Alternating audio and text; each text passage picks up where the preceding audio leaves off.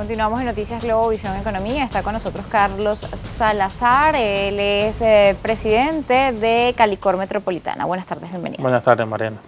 Bien, quería consultarte en esta época de asueto que vive el país, ¿cuáles son las condiciones que está enfrentando el sector en este momento? En otras oportunidades ya hemos conversado respecto a las limitaciones que se les colocan en cuanto a lo que es el comerciar y el poder establecerse en su actividad productiva en estas fechas. Pero quisiera que me digas además de los efectos que en un año como este esto tiene para el sector. Fíjate que es algo importante, sobre todo considerando que no es nada más el expendio de licor lo que se trabaja en esta oportunidad, porque nosotros estamos vinculados con muchas actividades económicas, entre ellas básicamente el turismo. El turismo se ve perjudicado cuando hay limitaciones en lo que es el expendio de licor. Sobre todo cuando hemos visto que en años anteriores, el año pasado fue muy complejo con el tema de los apagones eléctricos, por ejemplo. El caso de Falcón, hablemos donde está la presidenta de la Federación Venezolana de Licores, sufrió muchos apagones, muchos daños en los equipos electrodomésticos y la reparación es muy costosa, razón por la cual aquí lo que hay que hacer siempre es estimular y seguir estimulando las nuevas generaciones de empleo, el trabajo constante y que no se establezca ningún tipo de limitaciones en nuestra actividad económica porque nosotros no nada más expendemos licor, sino que hay otra cantidad de rubros que nosotros comercializamos y que cuando hay limitaciones nos vemos perjudicados. Sin embargo, consideramos que es importante que se permita una extensión de horario para nosotros poder trabajar. En medio de estas condiciones, ¿cuál es la situación que maneja el sector en este momento en cuanto a sus niveles de abastecimiento? El nivel de abastecimiento relativamente se cumple en estos momentos, vemos es un tema de poder adquisitivo, lo veíamos en el año anterior con una inflación que influyó negativamente en el poder adquisitivo del venezolano y nosotros siempre haremos hasta lo imposible por ofertar buenos productos al comerciante final que pueda disfrutar esas vacaciones, que pueda tener una alternativa de, consumo, pero escapa de nuestras manos porque nosotros ni somos productores ni somos consumidores. Dependemos de cómo se maneja la industria en el momento y las relaciones que puedan existir con las autoridades. Con las condiciones que señalas del año 2017, ¿cuáles son los aprendizajes que les quedaron a ustedes de este año? Fue un año difícil, sin embargo, 2018 en cuanto a lo que son las previsiones de eh, entes internacionales en materia económica pinta aún peor. Fíjate, hay algo que para nosotros es importantísimo reiterar, en los momentos de adversidad es donde los valientes dan un paso al frente y eso es lo que somos nosotros en el sector licorero, personas que seguimos apostando al progreso, que seguimos apostando al país, que seguimos trabajando por el país y que a pesar de que fue muy complejo el año 2017, nosotros seguiremos trabajando este año y proponiendo una serie de alternativas, elevando una serie de propuestas a las autoridades para fortalecer las relaciones sector productivo, sector comercial, conjuntamente con las autoridades y podamos garantizar el servicio al consumidor. Con, todo esto que señalas de mantenerse operativos, de mantenerse activos trabajando en el país a pesar de la adversidad, te tengo que consultar los efectos que ha tenido para ustedes las dificultades y los cambios que se han hecho en materia tributaria.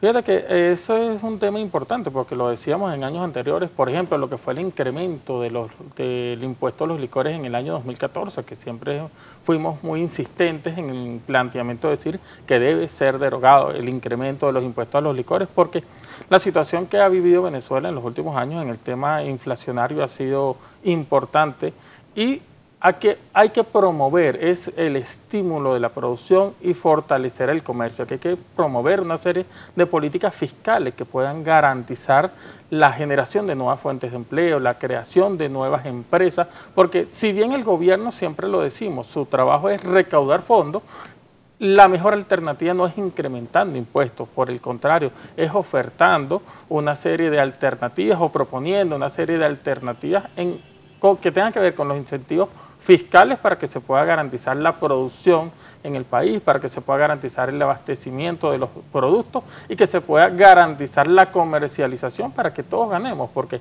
nosotros lo que hacemos es eh, ofrecer un servicio al ciudadano mediante una actividad comercial, pero esta actividad comercial genera un enriquecimiento para el gobierno municipal y el gobierno nacional. Si nuestras ventas bajan, disminuyen los ingresos al fisco nacional y que son finalmente retribuidos a usted en servicios públicos. Ustedes son la última parte de esta cadena y les toca la comercialización. Antes de ustedes está toda una cadena productiva y de distribución, varias cámaras afiliadas y que forman parte de, esta, de este sector se han pronunciado y han señalado que es prácticamente imposible seguir operando, que están a sus mínimas capacidades en este momento. ¿Cómo ves entonces lo que tiene que ver con la oferta nacional? Fíjate que el tema es por un planteamiento de poder adquisitivo del venezolano. Nosotros eh, en los momentos de adversidad, y estoy constante con esta frase, debemos dar un paso al frente y tenemos que estar conscientes que habrán altas y bajas.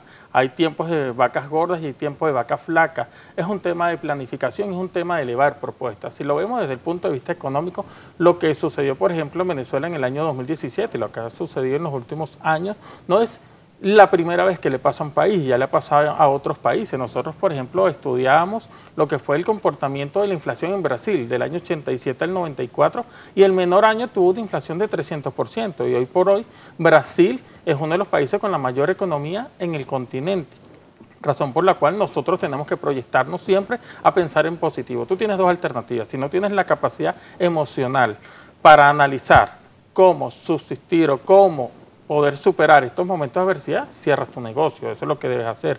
Pero en nuestro caso, nosotros siempre lo que hacemos es estimular, prepararnos, evaluar, analizar y ver que si otros países han superado momentos de adversidades, nosotros tenemos todo el potencial, todas las herramientas, todo el talento humano para superar momentos de adversidad y salir adelante desde el sector. Hay adversidades que se pueden superar, pero hay otras que son trabas estructurales que le impiden a un sector producir y es parte de la situación que se ha presentado. Más allá de un tema efectivamente de poder adquisitivo del venezolano, hay un problema de falla en insumos, de dificultades para poder comprar materias primas, de limitaciones para lograr hacer esto por trabas legales que hoy están en el país. Vemos cómo el tema de la caña de azúcar afecta a las destilerías. Vemos cómo afecta a otros sectores del país que no solamente tienen que ver con el alcohol para bebidas alcohólicas, sino para otro tipo de alcoholes. Quisiera conocer tu impresión al respecto, porque hay cosas que se pueden solventar, pero otras que definitivamente necesitan desentrabarse con una decisión ejecutiva.